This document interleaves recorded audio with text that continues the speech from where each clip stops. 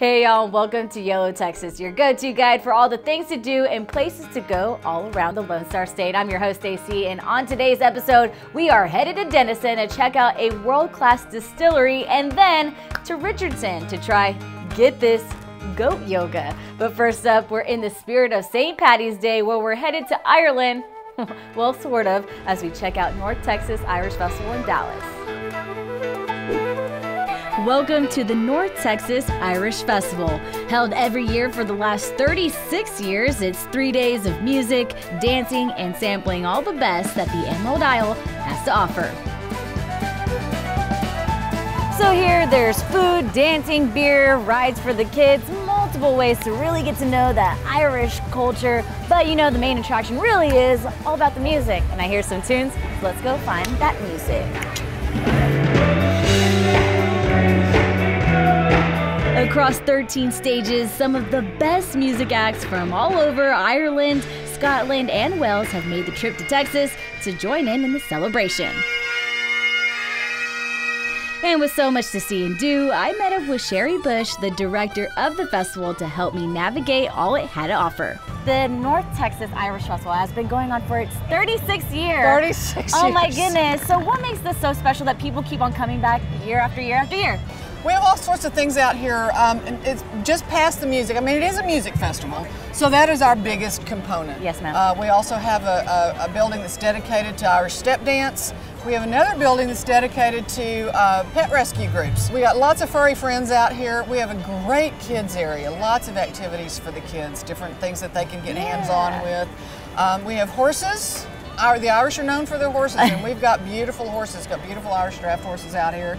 Um, just about, if you want it, it's here. Come hang out, have a drink, listen to some music, just explore your heritage. Uh, everybody's an Irishman in March.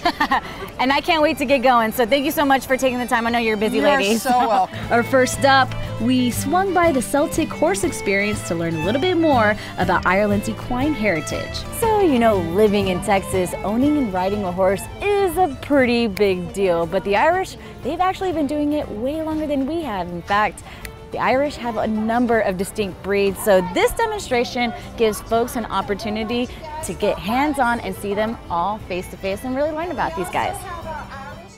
After that, we found another iconic symbol of Ireland, the DeLorean. So you may be a little confused as to why an American car is at an Irish festival. Well, while the DeLorean is an American car, it was actually built in Northern Ireland. So excuse me while I geek out a little bit. I've actually never been inside the DeLorean, so let's do this. Woo!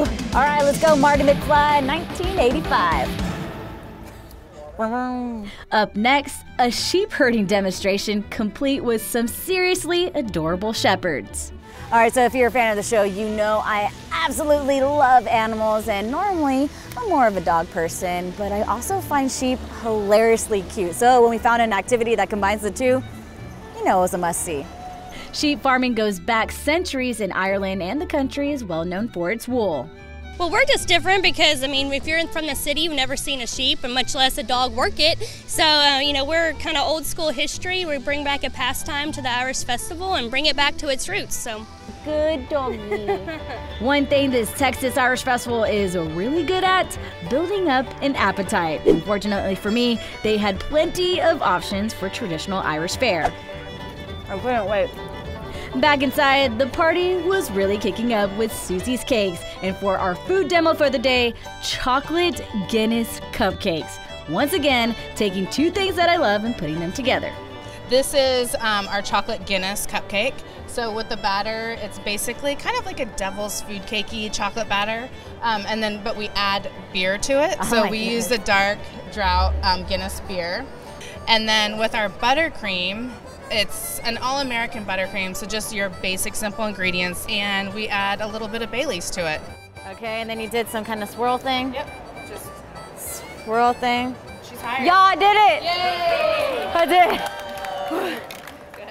And after a nice sugar rush, I explored more of what the festival had to offer.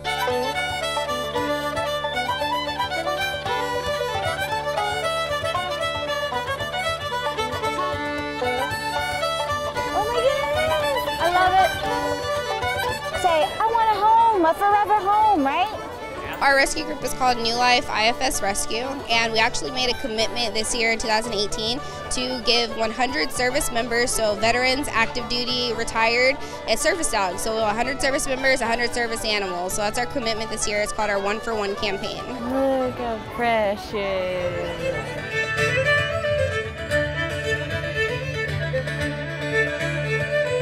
Okay, so right about now, I'm regretting I don't know how to Irish step dance, but luckily for me, there's a ton of demonstrations going on. And let me tell you, it's not as easy as it looks. But after a little work, I was actually kind of getting the hang of it. That's a workout. Good. I'm retiring. And as our day was winding down, I realized that there was one more thing that I had missed. No trip to the festival would be complete without a pint of Ireland's most famous export. All right, so Guinness has actually been around since 1759. Let me say that one more time 1759. So if they've been doing it that long, you know it's definitely got to be good. So you know what they say? Sláinte. What is it? Sanchez? All right, Sláinte.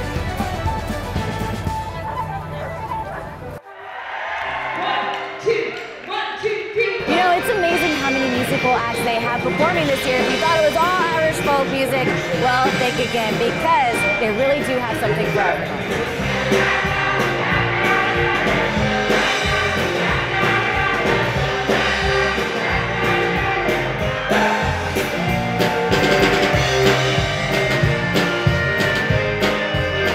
All right, so that does it for us here at the North Texas Irish Festivals. We had an absolute blast. If you're ever in Dallas whenever the festival's in town, make sure to come check it out. In the meantime, we're gonna see you later.